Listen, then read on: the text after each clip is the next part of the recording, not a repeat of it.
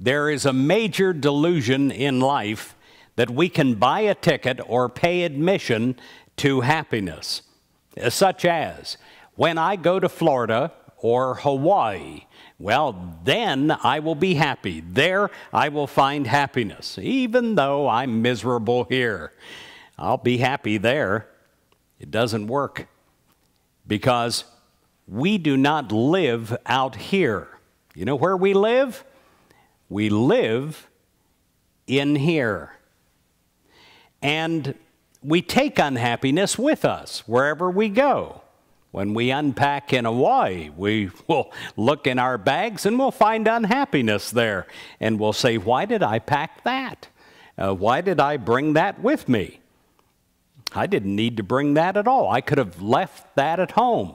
But we don't leave it at home because we take ourselves with us.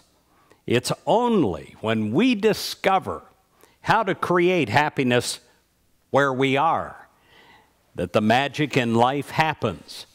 So, here is what I'm asking you to do today I'm asking you to work on pleasurizing your thoughts right where you are.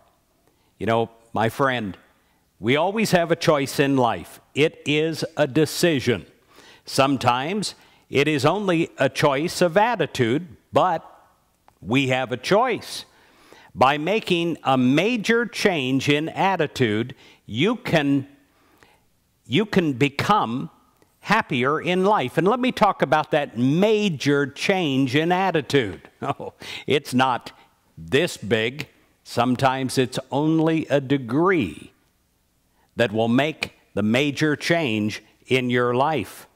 Life in your life can become an instant heaven when you train yourself to be happy in spite of rather than because of. Because of happiness is all based on the outer realm, what is outside of you. I have that new car, so I'm happy.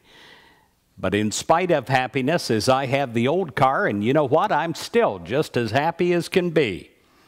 This is the way that we must learn to be in order to be happy. We have too much precious time invested in this moment.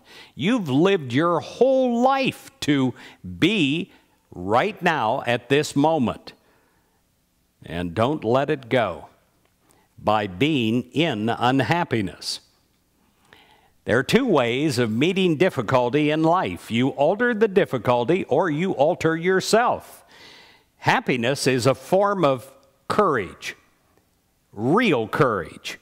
You decide to live happily ever after, and how do you do that? You don't live alone, you connect with God.